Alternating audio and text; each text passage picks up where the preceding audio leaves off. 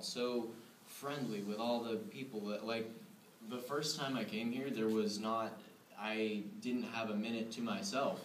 I, I was glad for that because I thought I would just come here and just be awkward at stand in the corner and uh, just like you know everywhere else you don't know people that it, that's kind of what happens. But not here not at all. And I really like that and you guys just drew me in at, to all of you you know What about that experience and, and what was happening in your life made you want to become Catholic? Oh, to become Catholic. Well, I mean, just everything washing over me at once. It was just like.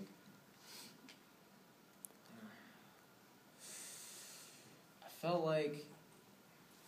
I know this sounds almost like cheesy, but like God is literally pushing me toward this church, other than all any others. Like I've been to a couple of different churches before this, and I never really felt God holding me down to one church. You know, like that's the one, go there. But this place, I, I have felt that sort of that sort of, you know, yeah, that sort of energy in this this establishment we call a church.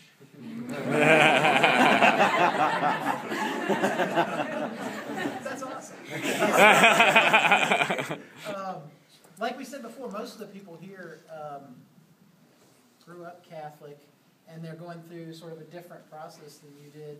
Um, you, we were talking earlier about how you know you really um, kind of appreciated the ability to to to come through as an older adult and ask a lot of questions. Could you talk a little bit about that? Oh yes, of course. Uh, in fact, I I kind of did realize that like when you do something so many times every day, you just go through the motions. It doesn't mean anything anymore. But I I mean I'm not saying like pointing at anyone specific or anything like that. But I mean you you do see it in everyday life, and not even in anything. And and this is something so this is so easy just to fall into the motions. And I've been so grateful that I have had the chance to make this decision on my own, to be able to stand back and say, why are they doing that? What, you know, why should you do this, and why have, you know, just all sorts of things that I can figure out for my own, instead of just being being told this is what you do every day until you, uh, you know, either die or leave. that's something that you can't really that you can't be born into. This is this I think that you should be able you yeah, think you should be able to make this choice on your own. And cuz this is a huge decision that I could not have made unless I knew that it was the right choice. Um, what would, what was the, what, what do you think, was there any experience that you had in the last few weeks leading up to, to last Saturday night that, that really stood out to you the most as um, really helping you make that final decision? um, I've had so many. It's the little things, you know. It's the little experiences that you get in everyday life that you see like God working in this place, and you just notice it, and you think that that really make it seem like He's there. Make it, well, I mean, you know, He is there to make you see Him there, and this is somewhere that I see a lot of little things happening. And I mean, of course, there are big things that happened, like the Saturday Night Vigil. That was just amazing, by the way. Um, there was no specific moment that just that just grabbed my attention and said, "That's it." It was just kind of like, "Look over here, over there, that church, Nick, over here." Either way, it got me here, and I'm glad I am. Did um, can you maybe talk a little bit about Saturday night as as friends and family arrive in that, and then um, you know your experience with um, being baptized, uh, receiving the Eucharist, and, and being confirmed into the church. What was what was that all like? So amazing. As I'm sure some of you can can say, uh, that were sitting right in the front, right next to where I was going in.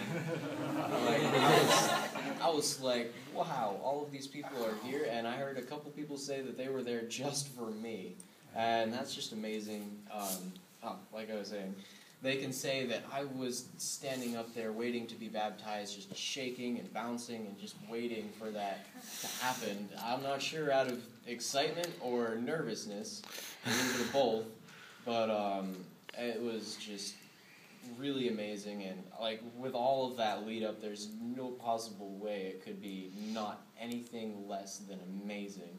And i have to tell you it didn't disappoint.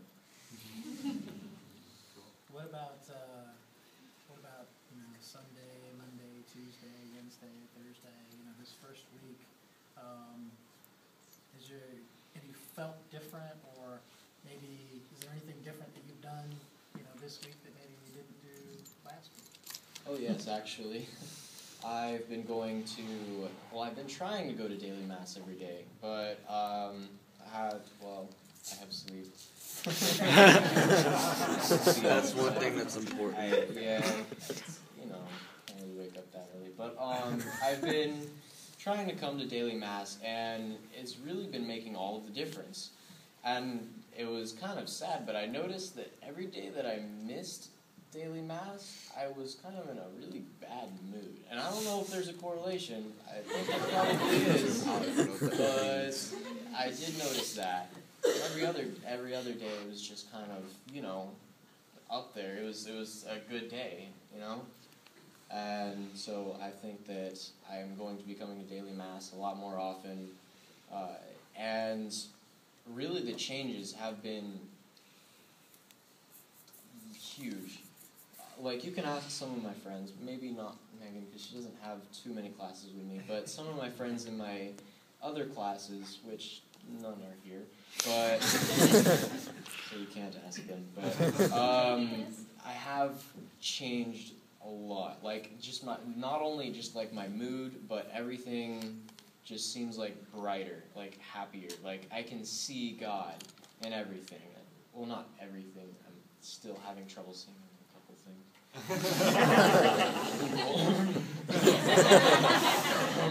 but it, you really do. It opens your eyes, opens your ears, and, and actually, just like Father spoke in the Mass today, you grow that those those eyes inside that just keep you open to all of the God experiences in every single day. And it's great. Do you feel any kind of great responsibility or sort of, I don't wanna say pressure, but just a different kind of responsibility as a Um, Catholic? Well, I mean, as far as changing, I mean, like I already felt sort of a responsibility. I'm not sure if I should, but I felt a sort of responsibility for some of my close friends and classmates that have kind of maybe strayed away or aren't doing very good. Uh, but I mean, now I definitely feel like, well, like you, no wait, like you tried not to say, pressure. I do feel pressure now, honestly, because I felt responsibility before, but now I feel like I have that motivation to go out and talk to them, to go out and try and connect with them on a spiritual uh, standpoint, you know, which I have with a couple. That's cool. Was there anything else you wanted to share with the group uh, before um, Jamie comes up and we want to, or Bobby, we wanted to show some photos from Saturday night actually. Um, So, uh, I think we, you're not shaking in any of them. You sound like somebody who could write a book. Yeah, do you have, uh, do you have anything else you'd want to share? Just that? you guys are all really awesome. I love the hospitality here, and I just really am looking forward to many good years here, right. which is kind of strange because I'm Steve, but many good years. All right, guys. Hey, thank you, Nick. That's awesome.